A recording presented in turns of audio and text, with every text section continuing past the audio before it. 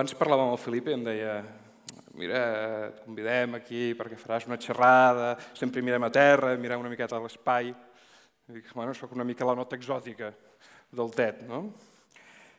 I clar, el meu títol, Per què ens fascinen els estels, potser si volgués eh, caure una miqueta millor entre alguns dels participants aquí, tindria de ficar una cosa d'aquest estil.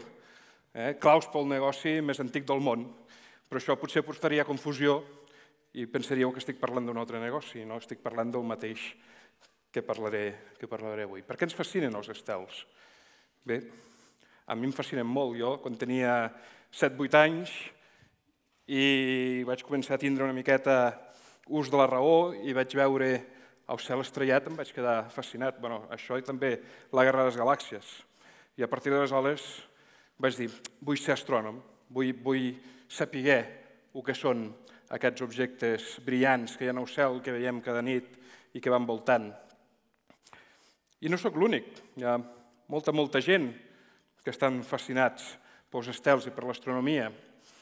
Fa un parell d'anys va ser l'any internacional de l'astronomia i jo vaig ser un dels coordinadors d'aquest any, el coordinador per Andorra, i hem fet una miqueta de balanç del que ha sigut aquest any internacional i hem vist que s'hi han implicat 148 països, més de 40 organitzacions, hi ha hagut 28 projectes globals que són organitzats per aquest any internacional de l'astronomia.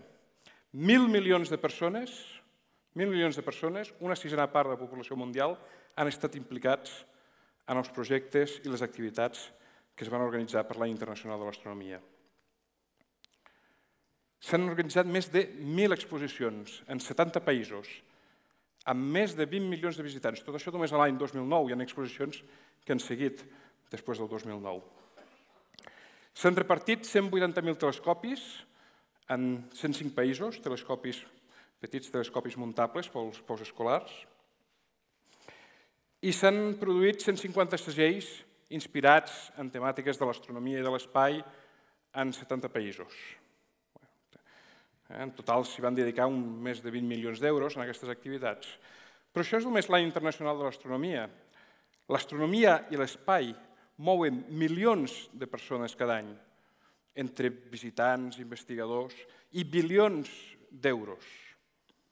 Hi ha una fascinació real.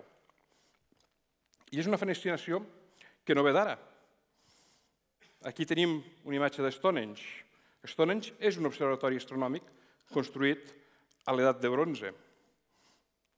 Però no només a Anglaterra es van construir observatoris astronòmics. Aquí en tenim un altre, Chichen Itza, amb èxit, eh? que aquest el van fer els maies. A la Índia també s'han construït observatoris astronòmics. Aquí en tenim un, a prop de Nova Delhi. I aquest, molt conegut, el del Mont Palomar a Califòrnia, aquest és més modern. I continuem construint. L'astronomia és un dels promotors de la construcció més ha en el món, en el que s'hi dediquen més, més diners. No només hem dedicat diners a investigar a partir d'observatoris astronòmics. L'estel, els estels, el cel, han inspirat també artistes. Aquí tenim un exemple d'una pintura egípcia. Artistes de totes les èpoques. Aquí tenim Van Gogh, que també va estar inspirat pel cel en aquest, en aquest quadre. I avui en dia inspira els nous creadors audiovisuals. Aquí tenim Star Trek, eh? un, una de les grans mitologies modernes, amb milions de seguidors arreu del món, eh, que viatgen a l'espai i que ha creat personatges com l'Espoc. Eh? En el dia del, de l'orgull friqui no podia estar de ficar a l'Espoc aquí. Doncs hem vist que han inspirat l'investigació científica, han inspirat artistes, els estels també han inspirat enginyers que han creat instruments com aquest, l'astrolabi, això ho va crear Hipatia d'Alexandria fa molts segles. Galileu va desenvolupar l'ús del telescopi per observar el cel. Hem desenvolupat els, els instruments d'enginyeria més desenvolupats, naus espacials com el Saturn V, que ens va portar a la Lluna, i el Hubble. Dins del Hubble es van desenvolupar per Hubble es van desenvolupar les primeres càmeres CCDs que avui en dia utilitzem en tots els telèfons mòbils i en les càmeres que ens estan gravant aquí. Això es va desenvolupar per l'astronomia. I els estels, l'astronomia està present en la nostra vida dia a dia, en la simbologia de la nostra vida. Aquí tenim la bandera del Brasil i si veieu en el centre de la bandera del Brasil s'hi veu uns estels. Són les constel·lacions com es veuen des de Rio de Janeiro. Els brasileis van ficar una part del, seu cel a dins de la seva bandera.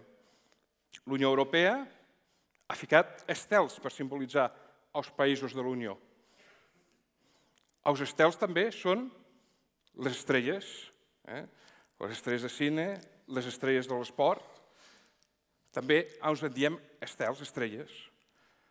A les marques comercials també s'utilitzen els estels. Mercedes, per exemple, o Subaru. Subaru en japonès vol dir Pleiades. Aquí tenim la representació en el seu símbol de la constel·lació, bueno, de, de, de l'agrupació de les Pleiades. I en el, en el dia a dia pues, tenim els hotels de cinc estrelles, els productes de cinc estrelles, l'estrella simbolitza l'excel·lència, el millor que hi ha, la permanència també. Doncs d'on ve tota aquesta fascinació? Ah, M'oblidava. Hi, hi ha un altre, un altre negoci eh, que ve dels estels, eh, els horòscops també, l'adivinació. Bé, la fascinació que exerceixen aquests objectes que tenim en el cel, que no podem tocar, que no podem arribar a, a, a, a, a agafar, per què hi ha aquesta fascinació? Per què? Per què? Per què? Per què? Bé, potser tenim de remuntar una miqueta en el nostre passat, el Big Bang, per entendre una miqueta aquesta fascinació. Si remunteu al Big Bang, veiem que la, la composició química de l'univers, just després del Big Bang, què hi teníem en el nostre univers? Hidrogen, més o menys 75% del que hi havia en l'univers, heli, 25% i poca cosa més. En realitat, no, no és que hagi tallat la llista, no, és que la llista s'acaba aquí. No hi havia res més en l'univers, just després del Big Bang, fa 13.000 milions d'anys. I avui en dia, quan veiem la composició química del cos humà, que hi trobem? Oxigen, carboni, nitrogen, eh, calci, ferro, magnesi, potassi... D'on ha sortit tot això? Com es passa del Big Bang al cos humà, com diria el Sheldon Cooper, un dels meus col·legues imaginaris. Eh? Doncs bé, es necessita fàbriques d'elements pesats. Què són els elements pesats? Bé, ja hem vist que el Big Bang va aconseguir crear coses fins aquí, el berili. Ens calen tots aquests altres elements Cal que l'univers produeixi aquests elements. I com es produeixen aquests elements? Es produeixen a dins dels estels.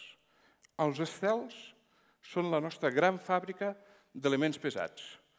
Eh, els estels són grans boles de gas, d'hidrogen, a la seva majoria, que estan molt concentrades, molt, molt calentes, i en el centre d'aquestes boles d'hidrogen es produeixen reaccions que en diuen reaccions de fusió nuclear. Aquí en tenim un exemple.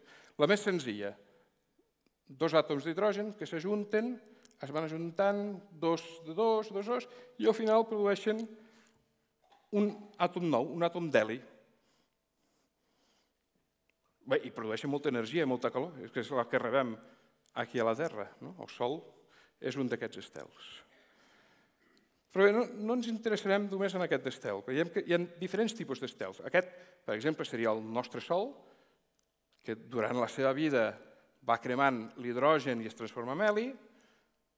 Quan ha acabat de cremar tot l'hidrogen, comença a cremar l'heli i es transforma en un gegant vermell i després acaba amb una nebulosa planetària. Es desfà. Quan ha cremat tot l'heli, desapareix.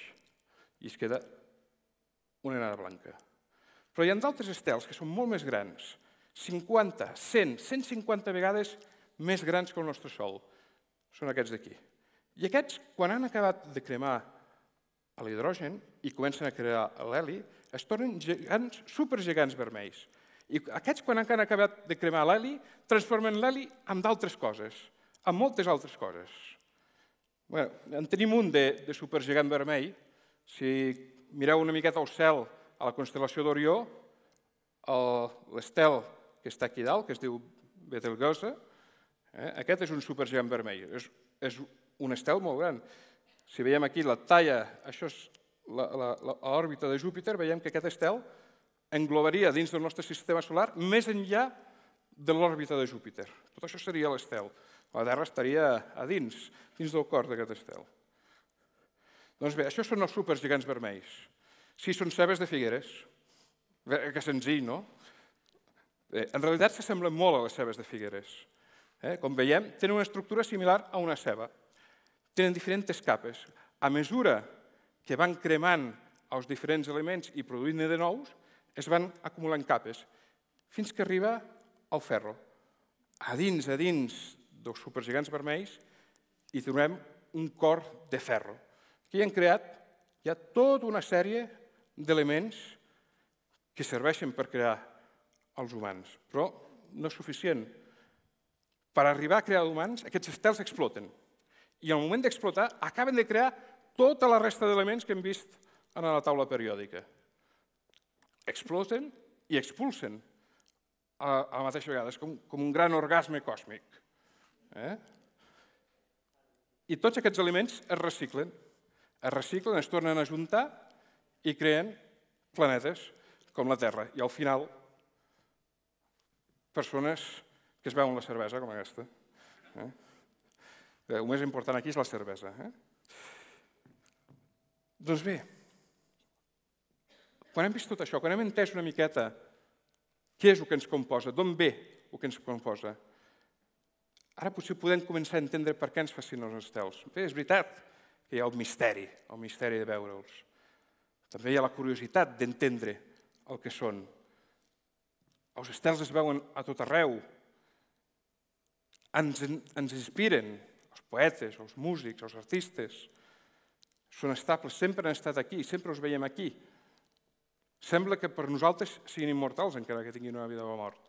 Però en realitat jo crec que ens fascinen els estels perquè som pols d'aquests estels. A, a nivell atòmic som part d'aquests estels i quan els mirem ens mirem a nosaltres mateixos. Moltes gràcies.